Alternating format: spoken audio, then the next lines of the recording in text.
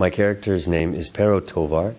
Uh, at the beginning of the film, he is uh, on the run uh, alongside um, Matt Damon's character, William.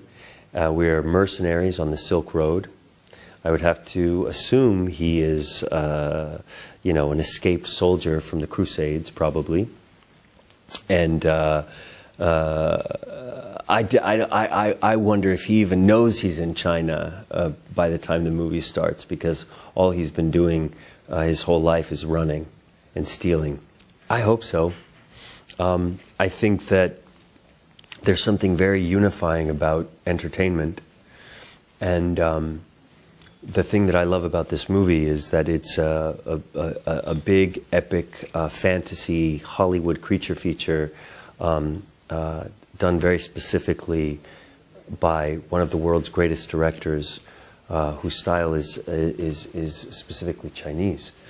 And, um, and so it's a different kind of uh, a big movie that, uh, that I, I really, really want people to see because um, there, is, there is no one like Zhang Yimou in terms of his visual style that is so supported by uh, the characters' stories, you know.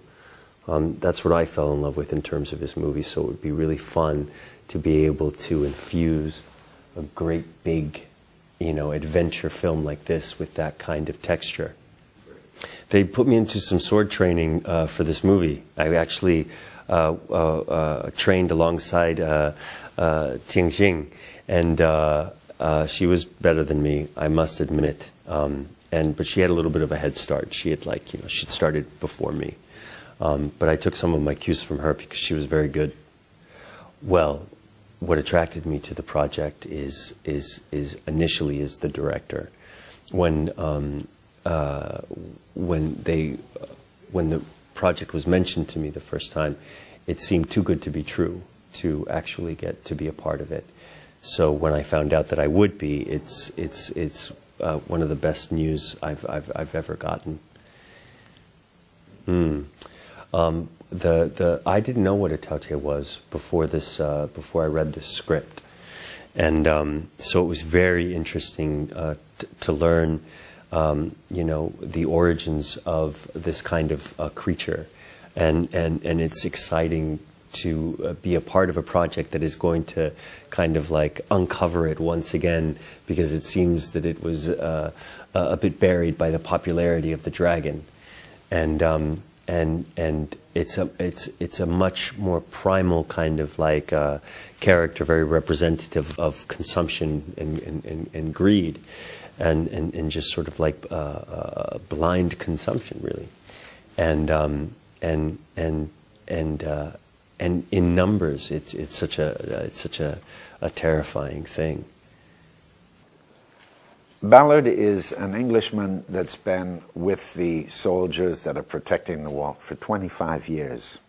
He got kind of lost on the Silk Road one 25 years ago, and he kind of earns his keep by uh, teaching English and trying to make himself useful just so they don't find him so useless that they take care of him or send him back out into the desert or whatever.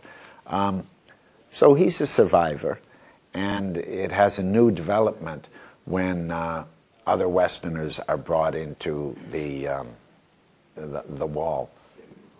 Well, uh, I'm I'm I'm someone that, as most likely is it's expressed in the story that I've taught um, some of the generals English. That's how I've kind of earned my keep. One interesting thing is during one of the scenes they realized that they wanted translation, and of course I don't know two words of Chinese, so that day while we were shooting, I had to learn the text, and I had Andy Lau had most of the dialogue that day. And I had to watch him. And I had to know what he was saying just by kind of intuition and also by his gestures. Because when we were shooting, I was giving Matt simultaneous translation. But I didn't know that they wanted me to translate until we shot. So it was interesting, and it's kind of a testament to Andy Lau being a great actor because he was very precise And I was able to see where I was in the speech by his intonation and by his gesture. So that, that was interesting to me. and I think it's a dream come true. And then my character is inter- also interesting. That I found out that this, don't, I don't have a much uh, scenes, but it's important. My character represents you know traditional Chinese general, doesn't believe in outsiders. You know things that we have to fight, unite together to to fight against the monster.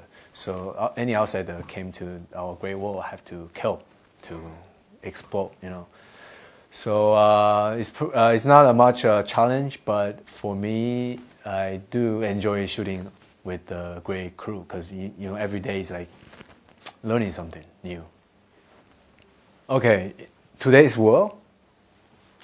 God, you cannot kill Tao Tie today. Oh, maybe using firearms, right? If I got rockets, RPG, uh, all the things I know.